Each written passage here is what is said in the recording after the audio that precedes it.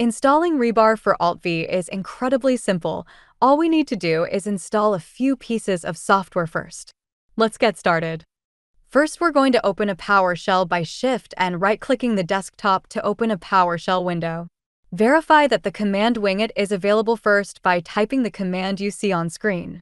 If you see that the command is missing, consult Google for additional help. Let's now install the dependencies we need for Rebar. First, we're going to install Git. Use the command on screen to install Git. Git is a tool that is used to download code from repositories on GitHub, GitLab, etc. Next, we'll install Node.js. Use the command on screen to install the Node.js runtime. This runtime will allow us to run JavaScript code natively on the desktop.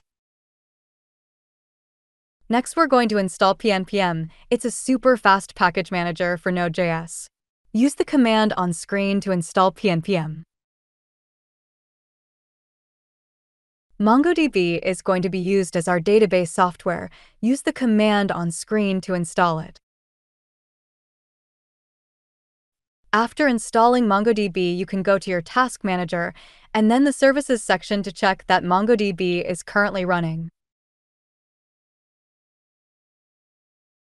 Let's now install Rebar. To install Rebar, we'll use Git to clone the repository to our desktop. Use the command on screen to do so.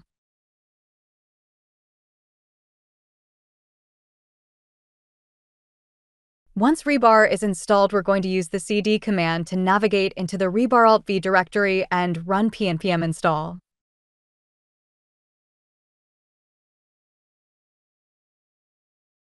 Once everything has been installed, you can run pnpm start to run your server. Additionally, you may use pnpm dev to start your server in development mode. That's all for now. Thanks for watching and like and subscribe to the channel for more rebar tutorials.